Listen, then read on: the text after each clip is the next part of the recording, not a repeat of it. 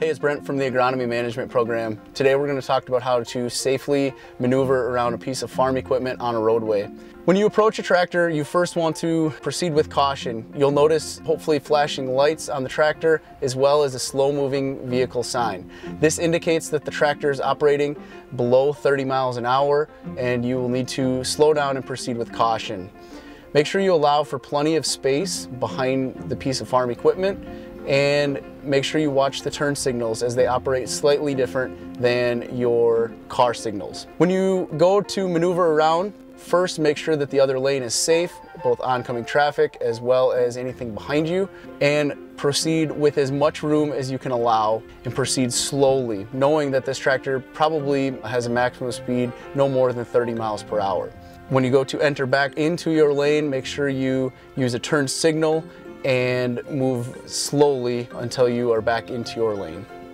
Make sure on Wisconsin roadways that you aren't passing farm equipment or anything with a slow moving vehicle sign on a double yellow line that is illegal in Wisconsin. If you want to learn anything more about the agronomy management program, check out cvtc.edu.